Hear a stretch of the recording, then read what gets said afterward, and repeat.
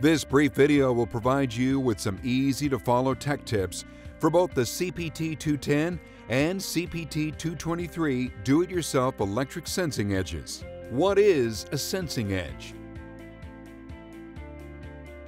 A sensing edge is a safeguarding device that attaches to the leading edge of a motorized door or the leading, trailing, or stationary point on a motorized gate. When an object comes in contact with it, it sends a signal to the operator to stop and reverse its direction. When applying glue to the end plugs, take care not to get any glue on the conductive tongue.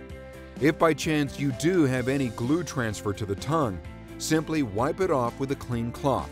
For added adhesive, add a small bead of glue to the outer edge of the extrusion where the tongue inserts. The CPT 223 model offers the option of attaching side flaps to the end of the sensing edge, which serves as a weather seal for rolling steel door applications. Add a small bead of glue into the end plug guide and insert the side flap into position. The simplest way to test the edge for continuity is to use the Miller Edge Tester. If testing with a digital meter, the edge compression reading should be several hundred ohms. You may consider doing a dry fit to be sure all of your cuts to the extrusion are square and your end plugs fit tightly before doing the final glued assembly.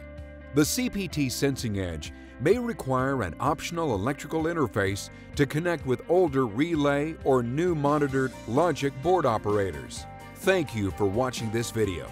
To view the entire CPT 210 and 223 product video, visit us on the web at www.milleredge.com or on our YouTube channel.